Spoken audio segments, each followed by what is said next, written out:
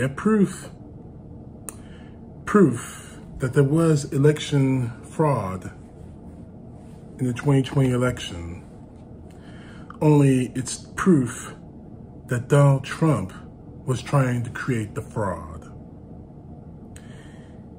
CNN received obtained surveillance video that shows that fake Trump elector was escorting operatives into Georgia's county into a Georgia county election office before voting machines were breached that were reported.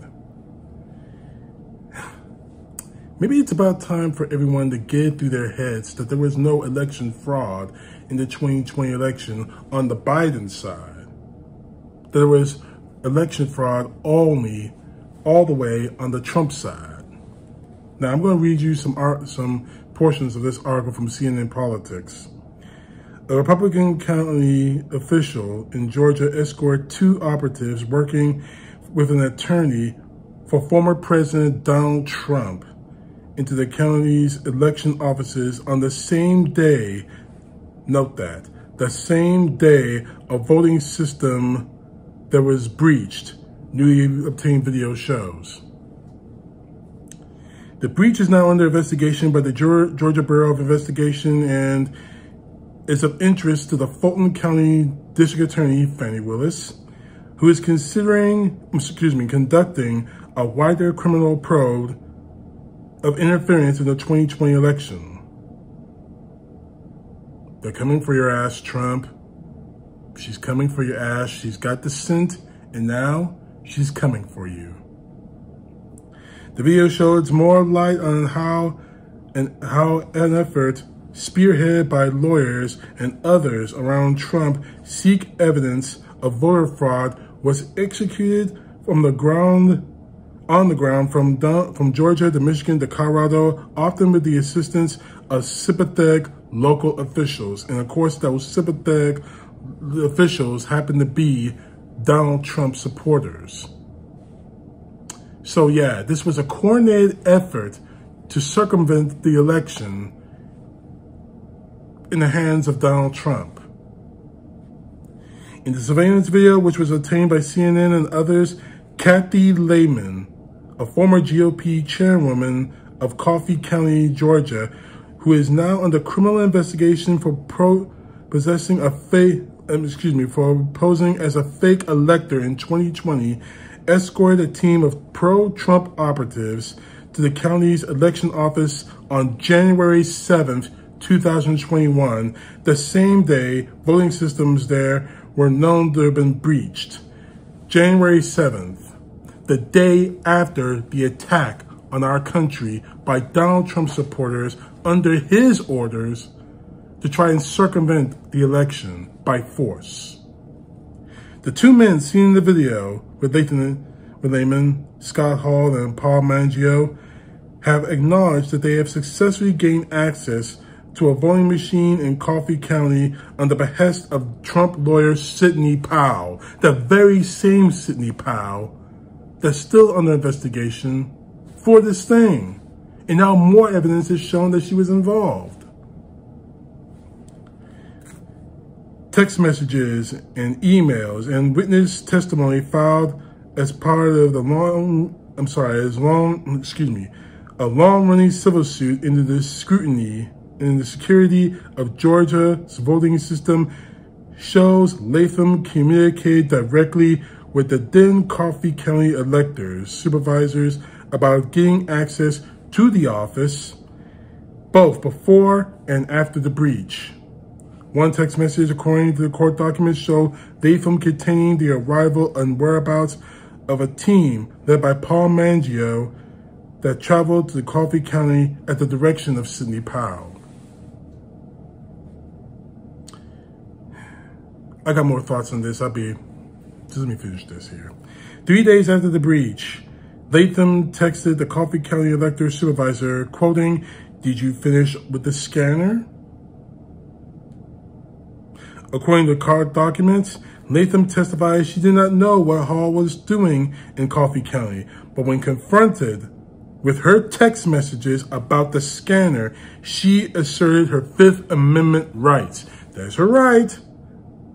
But you just got caught. Not only did you got caught, get caught trying to steal an election, you just caught, this is a little thing called perjury, which means you lied on the, under oath, which means your ass is going to prison.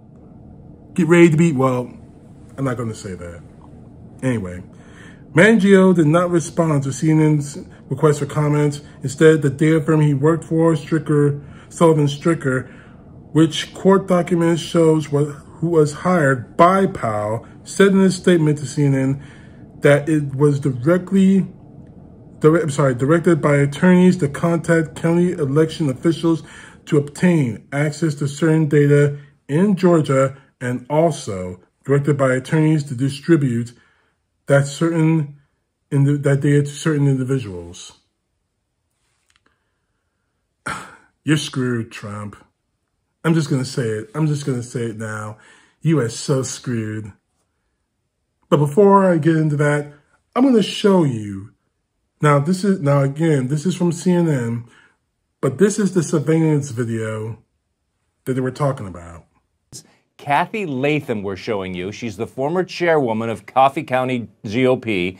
Already under investigation, this woman is, for posing as one of those fake electors who signed documents that declared Donald Trump was the winner of the 2020 election. Latham can be seen here escorting a team of pro Trump operatives into the Coffee County Elections Office including an IT specialist who was working with Trump attorney Sidney Powell. This all happens on the same day the voting system in that office was illegally breached. January 7th, 2021, the day after the attack on the U.S. Capitol. Text messages, emails, and witness testimony from a civil lawsuit against Georgia election officials have connected Latham, that woman, to the plan to give the group access to the elections office. About a week before this voting machine breach, that same woman, Latham, testified before the Georgia state legislature, along with Rudy Giuliani, talking all about voter machine irregularities in Coffee County. Latham's attorney told CNN in a statement that Miss Latham has not acted improperly or illegally, and Ms. Latham did not authorize or participate in ballot scanning efforts, computer imaging, or any similar activity. The IT specialist firm says it had no reason to believe he was doing anything wrong either. One important note Coffee County, where this happened, is a Republican stronghold. Donald Trump won this county with 70% of the vote. But you can see from that video there that the Trump connected team wanted to and was able to get access to that election office. So while we were all still reeling from January 6, 2021, the attack that Donald Trump spearheaded, that he pushed, that he prodded in the vain hopes of him wanting to stay in office.